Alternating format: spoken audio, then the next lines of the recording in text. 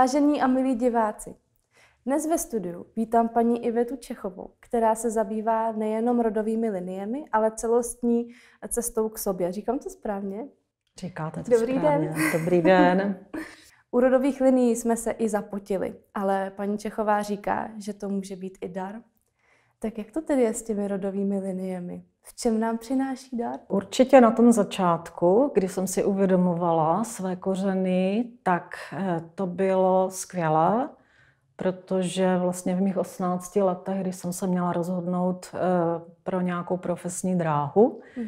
tak jsem si vybrala zcela jednoznačně germanistiku a věděla jsem přesně, co chci dělat a proč to chci dělat.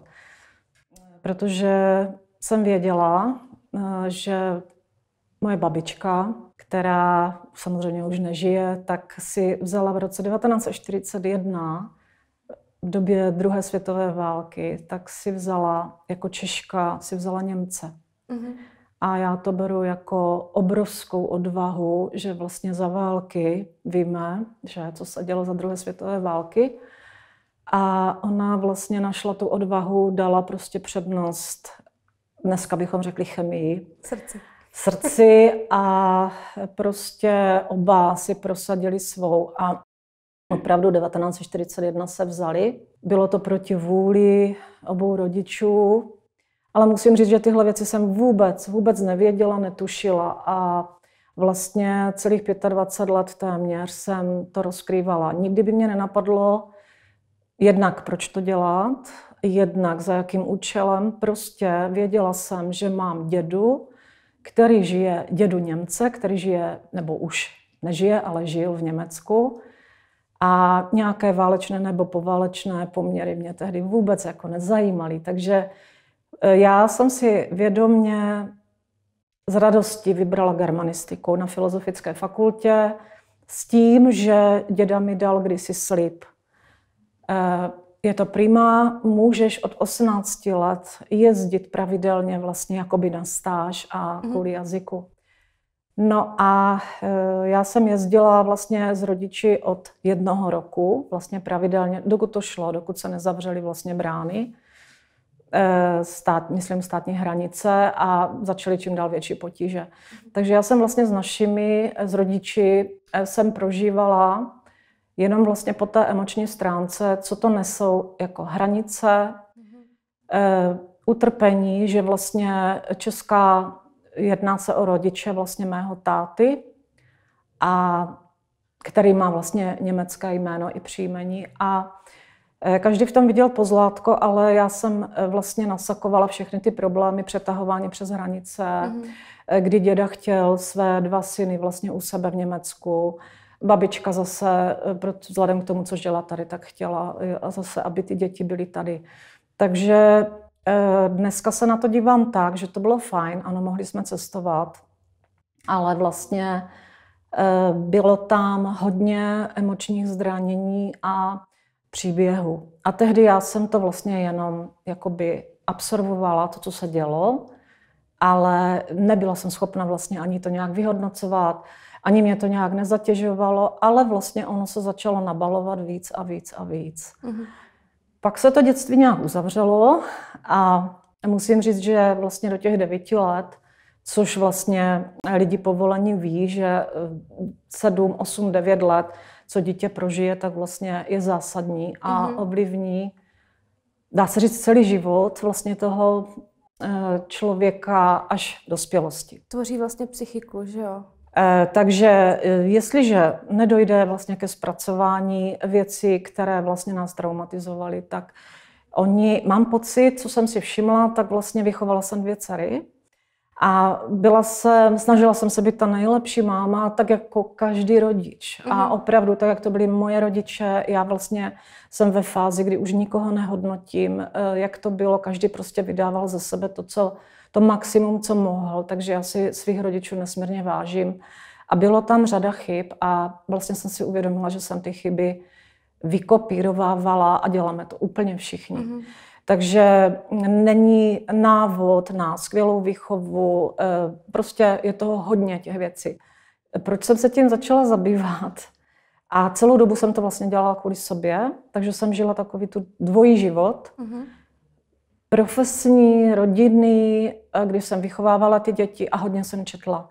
Takže to, co mě potkávalo, v podstatě nakonec jsem si zpracovávala sama eh, díky odborné literatuře, eh, studiím a vlastně se dostávám k rodinným konstelacím. Takže když mě, když mě eh, na tom rozcestí vlastně zastavilo něco, ať to byla nemoc, i konflikt, tak mhm. vlastně už tam čekal nějaký ten pozemský anděl, který prostě mě jaksi zachránil. Tak jsem se dostala vlastně přes tu výuku, Eh, ke skvělé terapeutce, která vlastně dělala rodinné konstelace. Takže ono to všechno nádherně plynulo. A mhm. já, já začala, protože pro mě udělala hodně a nejlepší je, co bych mohla sdělit lidem, eh, nebyl Google, nebyly informace, nebyla odborná literatura, nebyla jako ezoterika tolik. Takže já vlastně jako pionýrka vůbec jsem nevěděla, co jsou rodinné konstelace, ale protože jsem vždycky té osobě věřila, dala na svoji intuici, a to jsem tehdy vůbec nevěděla, co to intuice vlastně je, tak jsem prostě se ocitla jednou na té konstelaci a vlastně jsem tam viděla to rodinné pole. A vlastně jsem pochopila, že je to úplně o něčem jiném, než vlastně to, co vidíme, to, co vnímáme, to, co vlastně vyhodnocujeme tím ratio, vlastně, které máme v té levé hemisféře. A začala jsem se dívat na svět úplně jinýma očima. Eh, samozřejmě práce s energií, no je to těžké pro některé lidi, kteří mají vlastně založené to vnímání jenom jako rozumově. Tak jenom takový příklad, že energie opravdu fungují, tak když jsem stavěla konstelaci a musím připomenout, že jsem ji vždycky stavěla, protože jsem tehdy trpěla únavovým syndromem, tak jsem si kladla otázku, kde jsem ho vzala a proč. No, kde jste ho vzala a proč? No a našla jsem ho právě, kde mi uniká ta energie. Aha. A právě, že trvalo to teda hodně dlouho a taky to bylo tehdy nepo, nebylo možné vlastně, nikdo nevěděl, kde se bere únavový syndrom. Dneska mohu odpovědět na tuhle otázku, že mm, tu životní energii máme někdo větší, někdo menší, někdo minimální a to právě se týká té rodové zátěže.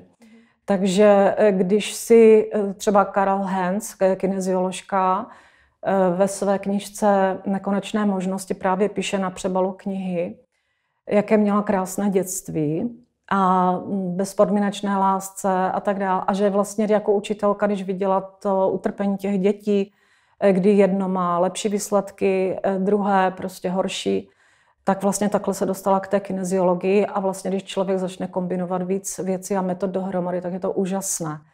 A ještě o tom mluvil, o tom dětství, krásném dětství i pan Dušek. A tady jsem si říkala bingo. A to je přesně to, kdy vlastně jsem si kladla otázku, proč některé dítě krásně prospívá, daří se mu, je skvělý sportovec a tak dále. A eh, druhé dítě je prostě takové jako straní se, úzkostlivé, potom prostě, když si představíte třeba běžeckou dráhu, mm-hmm. dali bychom tam pana Duška, tak ten doběhne úplně z radosti, rychle, v klidu, má tam ty vavřiny, ale eh, když to dítě, které prostě má nějakou, eh, nějaký zážitek traumatizující, který se vlastně potom eh, ty neřešené emoce, v podstatě víme i pedagogové, psychologové, kineziologové vědí, že jsou to vlastně problémy rodičů, a to dítě eh, v podstatě přestane třeba trávit, vylučovat, mm-hmm. takže toto se ví, ale vždycky to je tak, že vlastně se řeší to dítě, ale neřeší se rodič. Takže když bych to měla dopovědět, tak eh, takové dítě najednou prostě tu dráhu nedá. Mm-hmm. Nedá, ji ta, nedá ji tak rychlo, nedá ji, nedoběhne třeba ani do toho cíle. A pak je tam ten posměch, pak je tam nějaká poznámka. A už tady máme další nabalující se frustrace. Velmi mi otevřela oči kineziologie, eh, která vlastně mm, poukazuje na to, eh, jak funguje vědomí a věci nespracované, které vlastně si uvědomujeme a nechceme je vidět, právě ty traumatizující zážitky, tak vlastně tyhle věci nespracované se posouvají a tak nějak se odsunou do toho nevědomí a Myslíme si, že neexistují, vytěsníme to, ale ono to tam vlastně roste a tak nějak to podhoubí tam dělá neplechu. No a pokud opravdu třeba to neřešíme, eh, tady bych fakt se přimlouvala, protože mě je 57 let a já teprve teď vlastně vědomně si všechno odblokovávám u sebe kineziologicky a to jsou věci, které jsem nabalila u sebe, opravdu z dětství. Tady ještě se můžu zastavit, že to, co jsem testovala třeba u kamarádek, u přátel, tak eh, dvě třetiny vlastně nabalujeme u porodu mm-hmm. a i u početí. Takže když se rodiče ptají, co je s tím dítětem, proč není veselé, proč není spontánní, proč nemá takové výsledky, tak to opravdu není eh, špatnou přípravou, že by byl fling, že prostě nebo že by nebylo tak inteligentní, jak si přejeme, ale rodiče mohou pomoci tomu dítěti, že to začnou řešit a mám skvělou zprávu. E, to je jedno, že si vyberou kineziologii, psychologa, e, etikoterapii, homeopatii, se vším vlastně mám zkušenosti. Eh, opravdu jsem za těch 25 let prošla kde co a vždycky se najde prostě nějaké to řešení a dokonce skvělá zpráva je, že já mám teda zkušenosti, já jsem teď vsadila, jediné teď, co dělám, je kineziologie, u sebe myslím. Mm-hmm. A ještě teda homeopatie. A opravdu vidím vlastně, že to, co se somatizovalo eh, přes to vědomí přesunuté do podvědomí, tak vlastně samozřejmě jsem měla na tom těle, se zobrazuje spousta vlastně těch problémů a tam je to, že vlastně netrávíme, že se belháme, že nás mhm. bolí koleno a lidi jsou zvyklí to řešit operací. E, v tomhle jsem po té babičce, jo? takže prostě houževnata a i když se dozvím nějakou diagnózu, tak e, vlastně tu odpovědnost si nechávám já a vždycky prostě hledám informace a prostě e, porovnávám si, kdo co mi řekne a tu volbu dělám já. Jaký program z těch rodových linií vašich vám nej, nejvíc dal zabrat? Nebo ano, rozumím. Rozumím otázce. To je na hodně dlouho. E, já jsem si to hodně tento týden srovnávala v hlavě a e, já jsem vlastně sbírala docela posměch. Jo? Proč se vracet?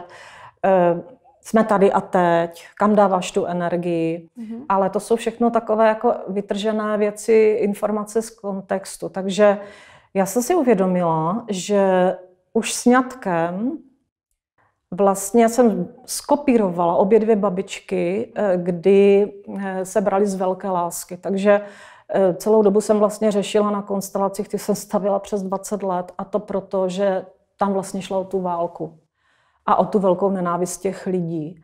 A jestliže tam někde energeticky něco začne, jakoby ta energie neproudí dál, nedá se odseknout minulost, současnost, budoucnost. Pro mě je to jeden tok energie, mm. tak jsem to pochopila.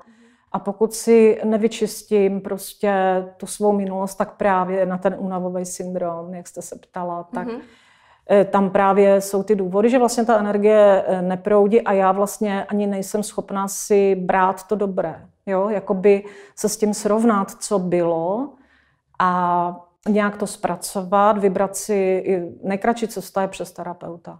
Mm-hmm.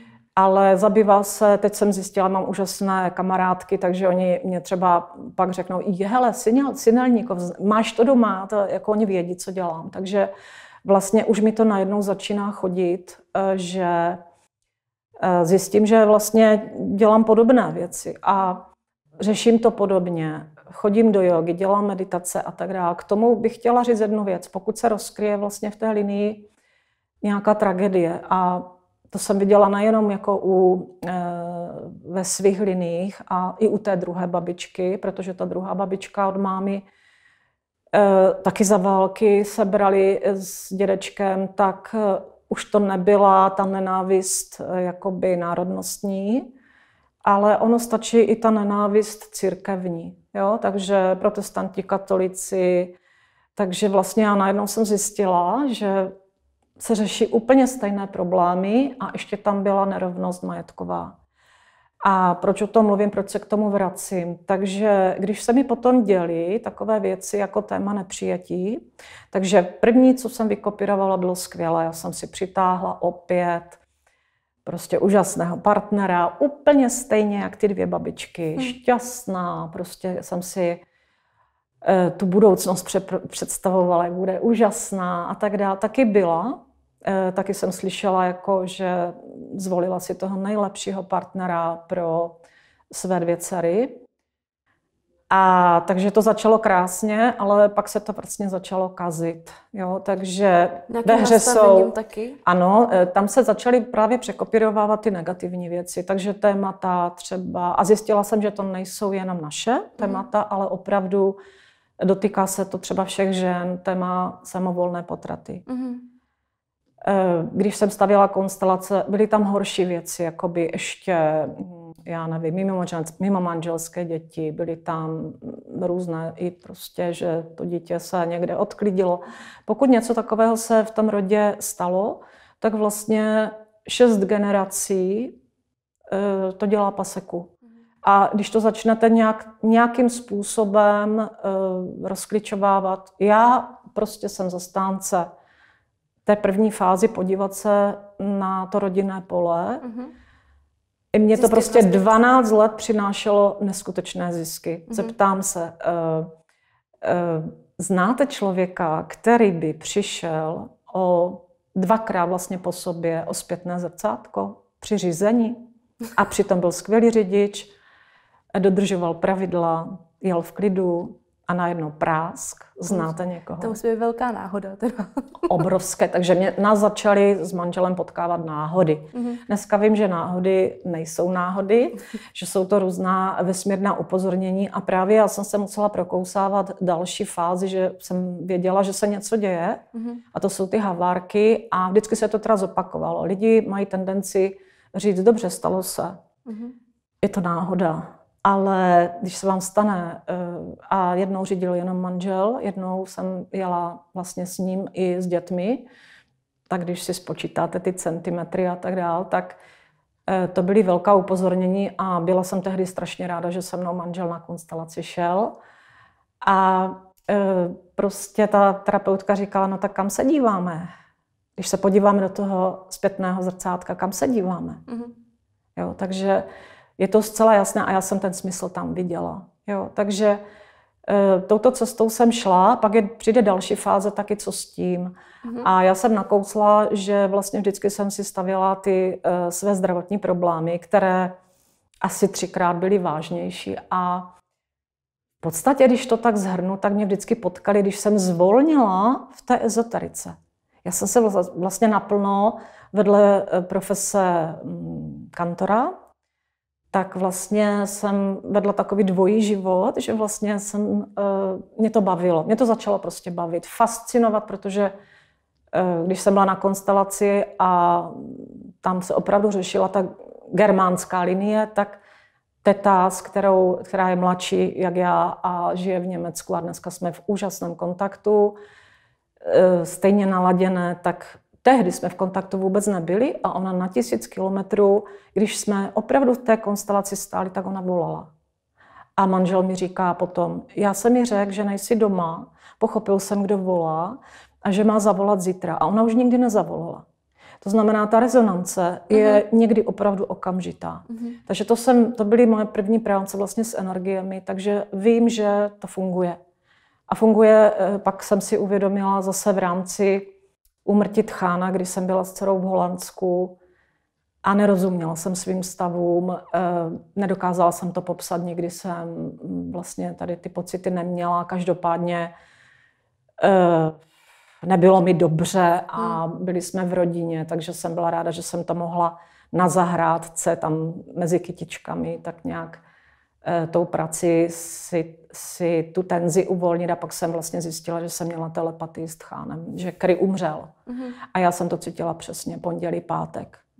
Z neděle na pondělí zemřel, v pátek byl pohřeb. A protože to zase bylo na tisíce kilometrů, tak vlastně eh, manžel to uzavřel, že to zvládnou s jednou dcerou sami a my, já s druhou dcerou jsme vlastně zůstali tam. Takže chtěla bych říct, že pokud jsou problémy jakékoliv v rodině, zkušenosti mám takové, že nic se samo mm-hmm. nepohne. My můžeme čekat 10 let, 15 let. Já má, osobně mám zkušenost takovou, že taky jsem si myslela, jak mám vyhráno, jak prostě je to skvělé, jak jsem si to vyřešila. Pořád se to vrací. Mm-hmm. Takže uh, pokračovala jsem dál a když už uh, ještě téma třeba havárky, když už jsem si myslela, je to je skvělé, už, jsem, už jako je mi báječně, jsem zdravá jak řepa a tak dál, tak uh, byl to den konec světa, nevím přesně, kolik je to let. A 2012? 21. 12. Bylo to, ano, bylo to v prosinci a vím přesně, že jsem si tak říkala, jsem si řídila do práce a mezi těmi poli eh, mě bylo báječně, já jsem si říkala, tak proč já se tak dřu, teď já si můžu jen tak bejt. Takže vám vlastně si... skončil starý svět a začal ten nový. No a to byl omyl, takže potom vlastně uh, jsem pochopila, jaké je moje poslání. Jo? Takže nejenom ta germanistika. Chtěla jsem propojovat českou a německou stranu, protože v té době vlastně jazykově uh, ty strany se nedomluvily. Mm. Můj táta uměl perfektně německy, ale po válce ho tak zmlátili spolužáci, někdo z dědiny, že ze dne na den zapomněl německy. A ty traumata se pořád sbíraly a ukládaly. Takže těch témat je tolik a já jsem se rozhodla o tom prostě opravdu, děkuji za pozvání a že je to pro mě třináctá komnata, to, co prostě jsem si musela zpracovávat uvnitř. A když bych dokončila tu havárku, já jsem měla dvě a ta jedna skončila tím malým upozorněním, že to auto se trošku odřelo. No a potom teda na ten den, konec světa, kdy už den předtím jsem si říkala, tak fajn, už si tak budu jenom bejt a jenom ta dovolená, třeba těšit se s dětmi.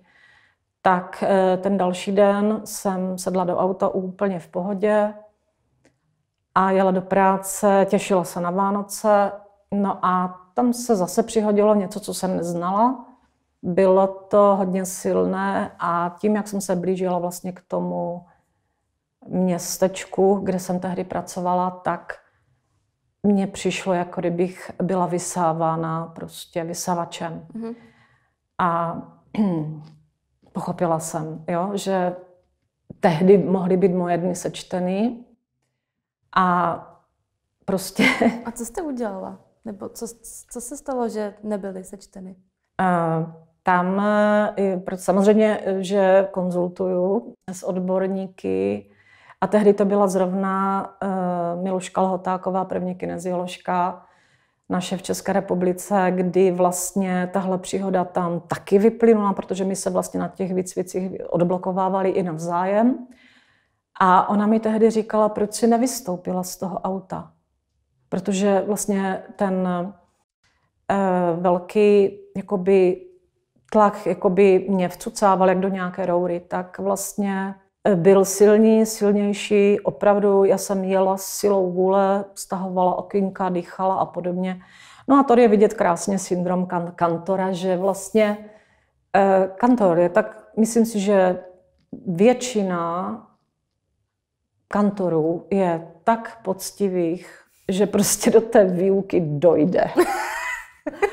A e, prostě pro mě to bylo nepředstavitelné, že bych nepřijela do výuky. A vím přesně, jak se to odehrávalo, že e, těsně před tou cedulí do města jsem si říkala, konečně. A v ten moment havárka. Mm-hmm. A co je na tom zajímavé, proč vlastně, protože ty zrcátka se opakují, havárky se opakují, no tak já vlastně chtěla se ezoterikou skončit a já jsem moc dobře věděla, co mě táhne, co mě baví, co mě jde, ale nedokázala jsem si představit, že bych řekla, že bych dala výpověď a řekla, tak e, já končím a zítra jsem k dispozici lidem a budu dělat prostě věci, které mě naplňují a baví. No a stalo se to, že jsem vlastně úplně zničila auto na tři, oktávku na 30 za 30 tisíc jsme ji prodali na součástky a mně se nestalo vůbec nic. Vůbec. Ani krční páteř, ani odřeninka, prostě nic. Měla jsem tam ruku Fatimy a ta se nikdy nenašla. E, v ten moment já jsem věděla, že se mi to pořád opakuje a že a potom jsem si to vytáhla i v kartách duše, že vlastně jsem, moje poslání bylo pomáhat studentům, což mm-hmm. jsem dělala, maturantům, dělala jsem pro ně opravdu maximum a myslím si, že jsme si to i užívali a dokonce jako třídní, to taky bych chtěla zmínit, že to jde, že si na Vánoce svobodně rozhodli, jestli chtějí se dívat na telku, na nějaký krimi film nebo cokoliv si ty děti tam pouští, nebo dospělí studenti, anebo chtějí meditaci. A opravdu jsme se zamčili a udělali si meditaci. Takže i takové věci, všechno jde, když se chce. No a eh, tehdy prostě už jsem věděla, že je něco špatně, že jsem na špatném místě, jak symbolické, že jo, když dojedete, si myslíte a vlastně těsně před tou cedulí máte bouračku, takže to už jsem věděla, že já jsem to věděla, jako že nejsem na tom srdečním místě. A pak jsem ale zpětně pochopila, proč jsem tam měla být. Takže ještě bych chtěla sdělit jednu věc, že pokud se nám dějí věci, které se nám, jsou proti srsti, nevyhovují nám, eh, jsou konflikty, tak eh, já jsem zažívala, a taky jsem to řekla panu řediteli, děkuji vám za tento psychovýcvik, který mi učení dali. Hmm. Protože eh, když, když se to přepolovávalo tady do těch náročných krizových situací, tak vlastně já jsem na to reagovala vždycky aktivně. Nevím, mám to v té, po té babičce nebo po babičkách, že říkám tak fajn, takže jsem šla zase do studia psychologie, různých kurzů dalších, ale já jsem věděla, že bych potřebovala jít do hloubky a prostě na to prostor není. Mm-hmm. Jazykář vozí, slohovky domů a, mm. a tak dál. To je prostě další téma školství, takže to bych nechtěla otvírat. Jak to, a pozdravuji opravdu všechny jazykáře. Důležitá věc, kterou bych chtěla říct, eh, osobní svobodu jazykáři mají. A já si myslím, že eh, balancují eh, mezi hranici, kdy to ještě nějak jde a už se blíží k té krizi. A pak jsou tam ty obrovské strachy. Dobře, ale co potom? Jo? Příjem nějak finančních prostředků a tak dál. Takže já jsem strhla lavinu. Já jsem prostě se rozhodla, takže tady takové negativní věci vlastně rozhodly o tom, že jsem začala uvažovat plus nemoc, eh, co dál. A prostě jsem se vědomně rozhodla, že dobře, tak teď si dopřeju v 55 konečně ty lázně, které už jsem si zasloužila dávno a docela mě překvapily reakce těch eh, kantorů. Jo, že si můžu odpočívat v červenci. Takže je to škoda. Eh, já si myslím, že to je ještě taky důležitá věc. Já si myslím, že každý by měl poslouchat svoji intuici. Každý z nás velice dobře cítí, eh, jestli má dostatek sil nebo mu ubývají, co s tím. A poslední sezení, které jsem zorganizovala vlastně pro jednu svoji žákyni, učnici, která vyznávala EMO a já jsem měla hodně vlastně třídu kuchařů, což se řešily opravdu těžké problémy. A EMO vlastně nese i sebevražedné úmysly, takže situace začala být vážná a já jsem vlastně zorganizovala s kolegy ještě potom eh, vlastně sezení v ředitelně. A na obranu kantoru dnes musí řešit takové věci, které vůbec nepatří k výuce a mm. já se skláním nad těmi, co to jakoby ještě tam jsou, protože jsem strhla lavinu a my jsme opravdu odešli v ten rok čtyři češtinářky z jednoho města, jedna šla do důchodu a obdivuju všechny, že se probíjí na ičo mm-hmm. a tam se vlastně rozkryje prostě, že jaký máme potenciál, jak jsme schopni pracovat s kreativitou a tady ty věci. Co se týče těch rodových linií, eh, jsou tam velké dary. Třeba tady to korona období, mm-hmm. Eh, když začalo, když se ohladnu rok zpátky, tak můžu říct, že máme moje rodina za sebou ne rok, ale takových 12 let úplně těžkých let. Neskutečně těžkých let, kdy já jsem si myslela, že když dospělé dcery odejdou z domu, jak bude klid, jak si budeme užívat s manželem. Ale začaly se kupit téma práce, prostě do toho ta korona a my, čtyřčlená rodina, jsme tři přišli o práci. Takže museli jsme se vyrovnávat e, různě a obdivuju opravdu lidi, kteří dokážou se zvednout a přepolovat to úplně do pozitivních věcí, najít v sobě potenciál, být aktivní a opravdu fandím i tady těm kamarádkám. Eh, jedna dokonce jazykářka, germanistika, taky tak, jak já pozdravuji, že vozí kočárek v německé rodině, věnuje se prostě malému dítěti, plní si své sny. Jsme vlastně všechny v kontaktu. Klaudie, která vlastně zorganizovala tady to setkání, dělá úžasné věcičky pro malé děti, Yamaha klub, takže ono všechno jde. A tady vlastně s těmito lidmi se vlastně přitahuji na základě těch rodových liní. Chtěla jsem říct jednu věc. Projekce zrcadlení, to jsou takové těžké věci, konflikty. Všechno jsem zjistila, že má podhouby. Eh, když se podíváme na Freudovu eh, metodu ledovce a ledovcového pohoří, tak já jsem zastánce toho, že eh, to má tak hluboké kořeny, že, protože já si to testuju sama na sobě. A moc dobře vím, co v těch generačních liních mám. Díky kineziologii to vím zcela konkrétně. A mám obrovské štěstí v rodičích, že vlastně my, téměř 80-letí rodiče, za to jim taky děkuju, že dokázali zkousnout, že se jich ptám na zcela staré věci, které prostě zasunuli a jsou ochotní se mnou vlastně to probírat, to, co já vytestuju, jestli, pro mě to bylo hodně důležité, jestli ty operace, ten stres těch operací, nebo dokonce já sama jsem si dávala do odbloku, proč nejsem schopna se radovat ze života.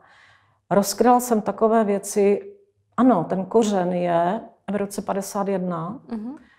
kdy můj táta taky nebyl schopen se radovat ze života, protože se definitivně dozvěděl zprávu, že jeho táta sen po válce, jeho německý otec se nevrátí.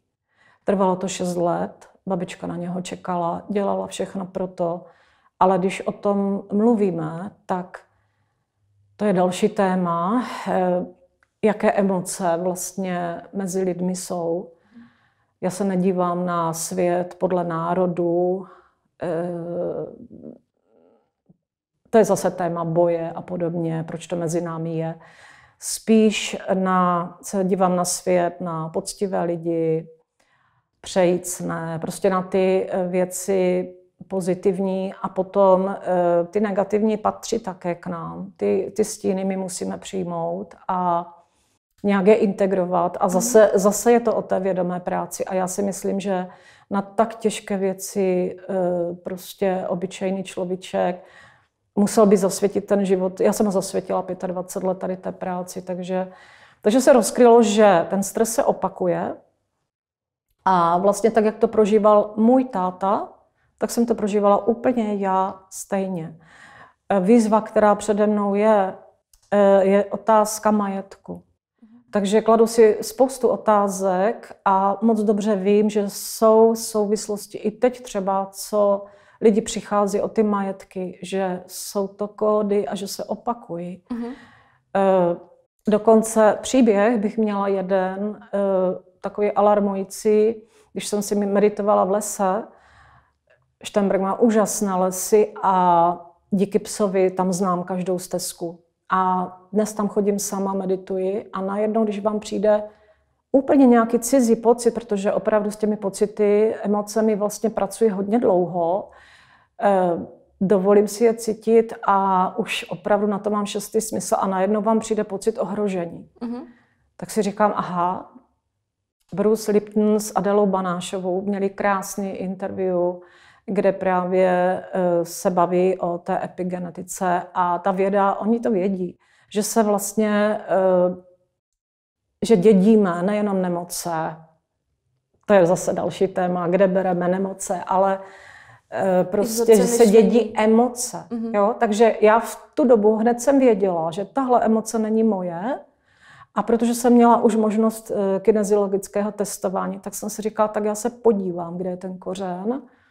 No a eh, to je právě ten velký smysl té mé práce. Vytestovala jsem, moje babička prožívala neskutečné útrapy to je snad na týden vyprávění po válce, kdy si člověk myslí, že může vydechnout a zase se dějí tak těžké věci a když jsem se jí na to ptala, ona tuhle komnatu neotevřela a řekla mi jedinou větu.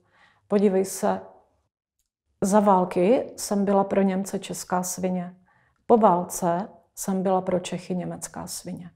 A tím to pro ní haslo. Velká škoda. Ona si myslela, že to vezme do hrobu nikdy eh, o tom už potom nemluvila. Je fakt, že eh, i příbuzenstvo mi pomáhá, takže jsme se shodli, prostě nebyla doba se na tyhle věci ptát a já vlastně díky příbuzným, jedna teď je teď, která má vlastně archiv eh, doma, co se stalo Amálii vlastně od soudu, byla napadena po válce vlastně podstatě kvůli penězům byla napadena sekirou do hlavy. A to tím, vaše příbuzná Amálie. Babička je, babička. ano, babička mm. je Amálie. Tím vlastně můžu pomoci uh, dotazům. Na tom Facebooku je spousta, spousta dotazů. Proč mají děti urazy hlavy? Proč se děje tohle? Proč se děje ono?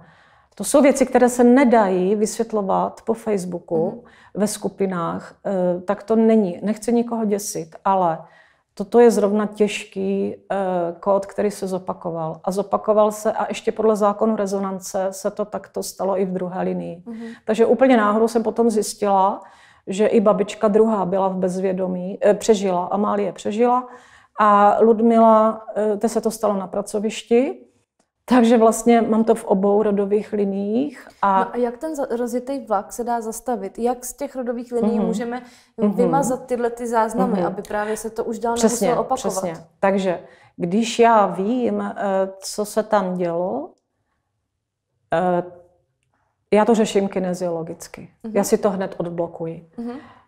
Doporučuji podívat se na to třeba na rodinné konstelaci, mm-hmm. anebo dneska jsem slyšela, že fungují, že jsou terapeuti, kteří jsou schopni se i na tu rodovou linii podívat eh, individuálně, nemusí se stavět třeba to rodinné pole, ale jde to... o ten odblok, eh, takže i šikovný terapeut, psychoterapeut, eh, já jsem to neskoušela, já říkám to, co mi funguje, takže pro mě je důležité asi to poselství je důležité, že to funguje, vlastně to čistit. Když jsem si to začala vlastně odblokovávat kineziologicky, tak jsem si vedla podrobné zápisy. Mm-hmm.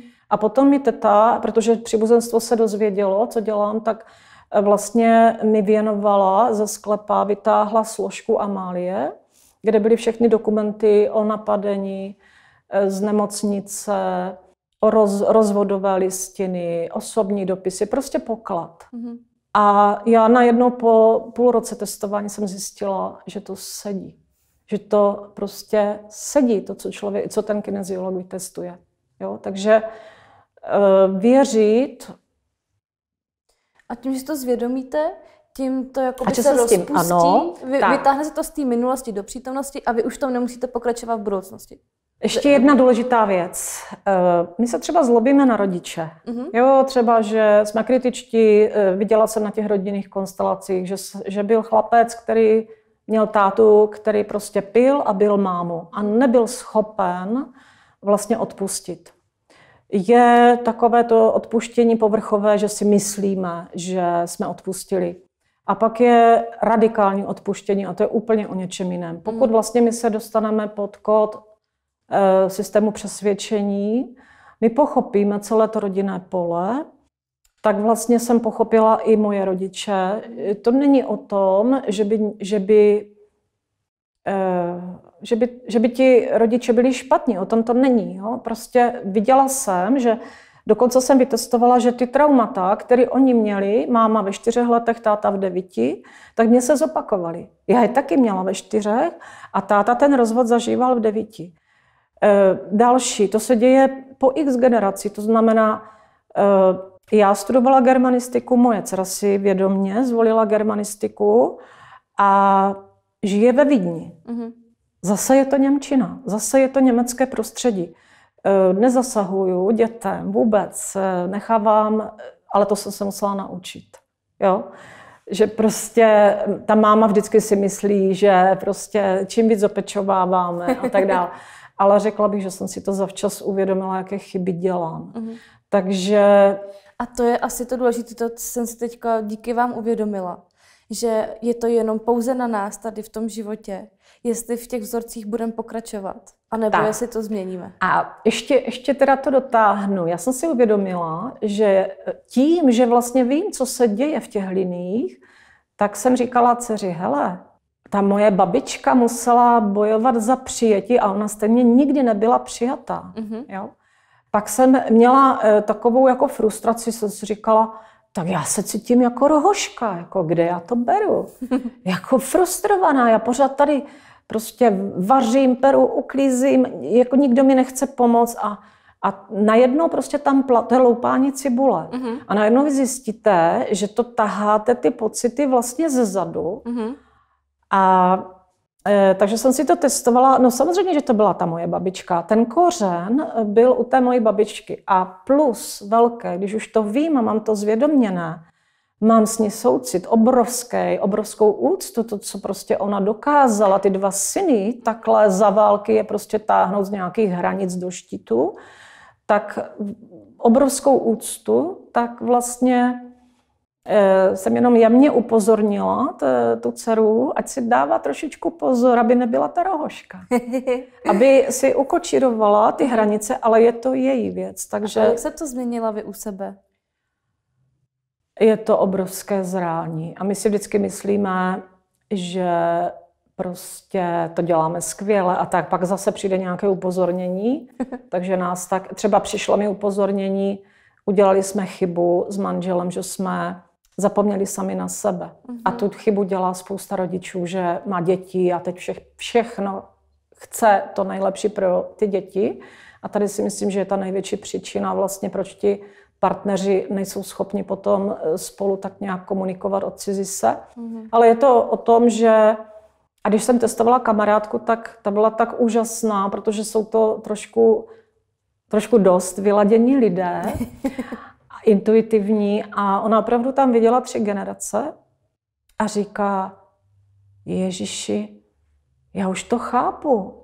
Teď ta moje babička vlastně neměla vztah s manželem, ale se synem. A já tam vidím tři generace, jak se to kopíruje, já to dělám taky. To znamená, když potom vlastně, eh, to si myslím, že je hodně častý případ teď, se hodně děje, že vlastně ty ženy nemají vztah právě s tím manželem, ale s tím synem. Mm-hmm. A pak, anebo naopak, jo, elektřin komplex a podobně. To nemůže fungovat. A to jsou věci bolestné. A já prostě vím, že to se nevyřeší ani za rok. Já jsem čekala opravdu když jsem si uvědomila, jaké chyby dělám, tak prostě trvalo mnoho let, i desetiletí, než se to spraví, takže to je další věc. To, co si myslíme měsíc, trvá rok a to, co si myslíme, že bude trvat rok, bude trvat deset let třeba. A je to o tom teda být v té přítomnosti, uh, hlídat si teď to, už abych ano. nenaskočila zpátky teď do těch už nastavení. ano, Teď už ano.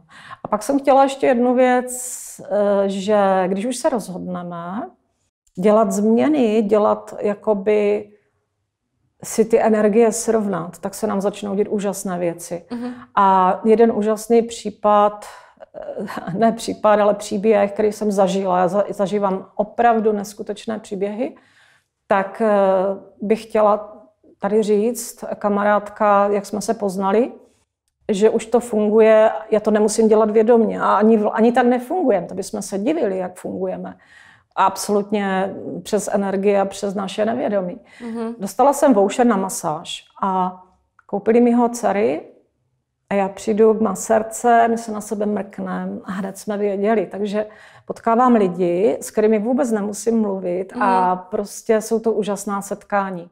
Za kulisy jste zmínila, že jsme všichni propojeni. Přesně, a to chci říct, přesně tak. A co se mi teda stalo, takže kromě toho, že jsme měli společná témata, alternativní medicínu, léčitelství, bylinky, tak jsme si říkali, no tak jasně, to je, to je ono, jako to nás spojuje, protože tam přece jenom člověk hledá, proč se pořád takhle přitahujeme. Mm. A to je právě i s tou Klaudy.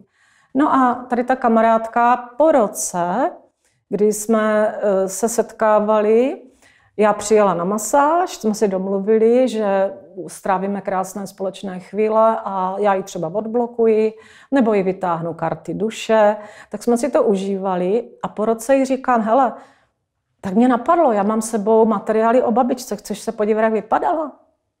No a stalo se úplně něco neskutečného a já jsem pochopila, jak vlastně fungují, jak fungujeme a jak jsme propojeni. Když jsem mi řekla, že moje babička pochází ze štítu, tak ona mi říká, to není možný. To není možné, moje babička je taky ze štítu.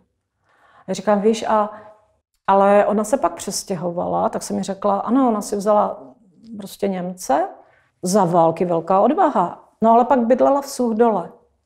A ona mi říká, to není možný. Moje babička taky bydlela v Suhdole. Oni se museli znát.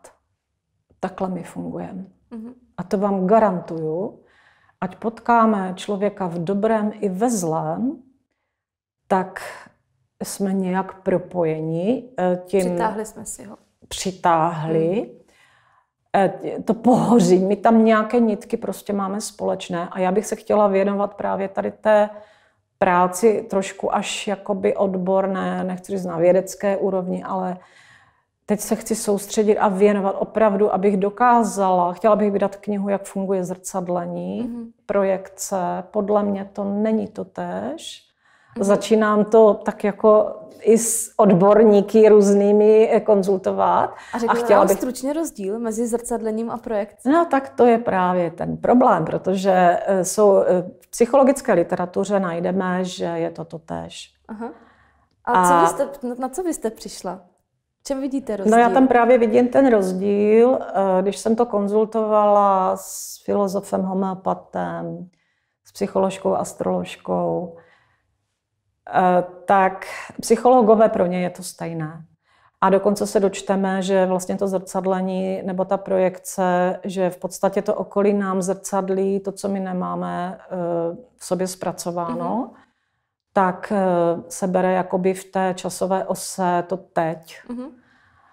Ano, my mm, můžeme mít těžké věci u porodu a také třeba prostě cokoliv se tam stane. A může to být i jediná nějaká nešikovná věta. Taky znám případ, tak eh, to může mít následky pro to dítě, emoční, které se potom projeví třeba, že má tiky. A ten příběh není můj, ale četla jsem ho. A a ty projekce? Ty projekce, já se domnívám, že, protože vím, že ten kořen je i hluboko někde, uh-huh. Tak eh, já se domnívám, že tam ty společné nitky, třeba jenom ve formě nesprac- stejných nespracovaných témat. Jedno velké téma, které asi řeší úplně každý, je vztah s mámou. Eh, řešíme ho, pochopíme, že ho řešíme později, teda muži i ženy, prostě všichni. Ten nás opravdu vlastně tak nějak formuje, tvor, formuje, ano. A i to zpracování trvá desetiletí a je to asi ta nejtěžší práce, ale pokud stojí ta cesta, přesně tak, hmm. stojí hmm. za to a to jsou ti lidé, ti nejbližší vlastně, a to je můj názor i na partnerský vztah, mm-hmm. je samozřejmě nejlehčí a nejrychlejší od toho utéct. Ale tím se zbavíme toho zrcadlení. Mm-hmm. Té možnosti, že mi někdo zrcadlí, že něco není OK, a my to všichni neseme bolestně, že prostě jsme třeba porouchaní, že s námi něco špatně. Vůbec ne. My to můžeme podstatě ten kořen může ležet právě u toho porodu nebo i početí, nechtěné děti. Tam se rozkrývají, to nese tolik, tolik věcí. A je zbytečné potom si to obracet proti sobě, že za něco můžeme a tak dále. Lepší a rychlejší je potom ten kořen rozkrýt. Všechno se dá rozklíčovat. Důležitá věc, eh, co jsem opravdu zažila sama na sobě. Jakmile začneme pracovat na té emoční úrovni, začne se lepšit zdraví. Mm-hmm. Takže já jsem, asi, no určitě, ale eh, ještě tak další věc. Eh, oni, když třeba jsem v bylinkové skupině nebo eh, kváskový chleba, peču a tak dále, taky jsem si myslela, že vyzdravím na nějaké bylince, vyzdravím jídlem. A já jsem pořád přibírala, dělala jsem jogu, dělám, pokud teda ještě budu moc dělat. Prostě orientální tance s, s dětmi, úžasné, ale je to, pokud jsou problémy, tak je to opravdu na tu práci detailní, individuální a všechno má řešení. To znamená, já když jsem, eh, a asi je to nej, nejrychlejší přes tu hlavu, takže já jsem požádala eh, teď imunoložku, já jsem kdysi vlastně mm, začala jezdit na imunologii, pořád se to nějak uzlovalo a můžu říct, že teď po posledním vyšetření a opravdu už mi tu kartu dali do sklepa, že už jsem tam dlouho nebyla, protože, protože, se, protože se opravdu poctivě odblokovávám tak dva roky a něco. A paní doktorka mi řekla, když jsem se jí zeptala, jestli se tam tak nějak to laboratorně nějak projevilo a já jsem otevřená a říkám, co všechno dělám, jak to mám a tu pilulku prostě neberu, neberu. Vždycky jsem to donesla to domů, donesla jsem domů co, ale prostě jediný lék, teda co beru na osteoporózu. Ale všechno si řeším a laboratorně mm-hmm. můžu udělat radost a naději těm ostatním, že se mi to pohnulo do, do normy. Jedna složka tam zůstala stejná, říkala paní doktorka, že genetika je genetika. A z toho se taky dá vyvázat. A určitě půjdu dál a dál. A, a zase je to i velká naděje do této doby, korona období, mm. kdy normálně chodím do supermarketu, zajdu si do lékárny pro Vincentku a podobně, takže nejsem ve sterilním, sterilním prostředí a my jsme díky stravě, díky celostnímu vlastně přístupu právě, když jedna složka vypadne, že se nepohybujeme třeba, mm-hmm. že si nečistíme podvědomí. My chodíme ke kadeřníkovi, eh, ženy myslí na to, aby měly třeba nechty nalakované, kosmetika. Oni zapomínají ti lidi si čistit. Do auta taky dáváme naftu, kontrolujeme olej a tak nějak zapomněli na psychohygienu. Takže si myslím, že a pokud to nedovedu, tak se obrátím na někoho. Mm-hmm. Jo, takže já si myslím, že jsem případ, nebo tak nějak prostě, že vždycky existuje cesta zpět, jakoby, ale zároveň kupředu. Za tom, ano, přesně tak, přesně tak. Takže gro tohohle, toho našeho povídání vlastně je, že pokud ty rodové linie nebo naše bloky nastavení budeme řešit, ano. je to pro nás dar k tomu ano. se odpíchnout Přesně. a posunout se dopředu. Přesně. Pokud to nebudeme řešit, tak to je zase na jiný povídání. ano. Ivetko, chci vám poděkovat za velmi inspirativní povídání, za vaše životní zkušenosti, za váš životní příběh a věřím, že bude velkou inspirací pro, pro mnoho diváků. Držím vám palce. Děkuji moc a děkuji za pozvání. Děkuji. Ať se daří všem v této náročné době.